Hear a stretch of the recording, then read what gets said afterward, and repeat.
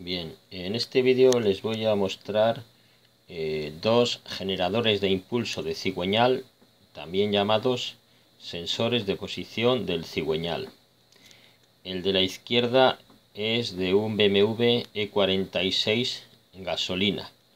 También sirve para E39, E38, X5 gasolina.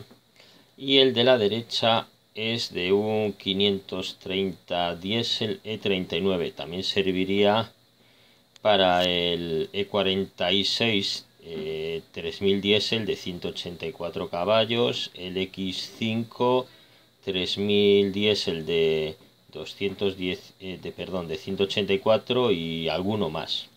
Bueno, el de la izquierda lleva la referencia 12 14 17 09 616. Este es el de gasolina. Y el de gasoil o el diésel lleva la referencia 13 62 22 47 926.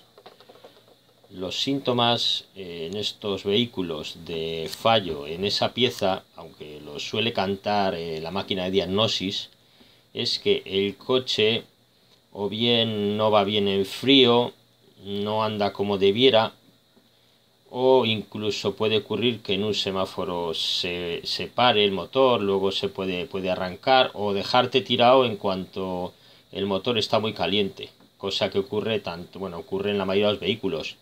Eh, yo conozco porque he tenido, aparte de BMWs, también Hyundai, también tienen ese problema, que en cuanto falla tiene eh, había, tenía un modelo yo que a los, un Hyundai Tucson, creo que era el Tucson aquel, que en cuanto tenía recorrido, o sea, unos 20 minutos aproximadamente, se calentaba el motor y te dejaba tirado, o sea, se paraba.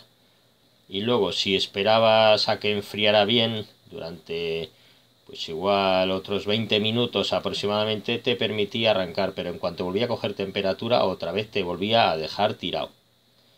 Bueno, pues básicamente estos son algunos de los síntomas que yo conozco de primera mano de fallos en estos sensores. Espero que este vídeo les sea de utilidad y gracias por verlo. Un saludo.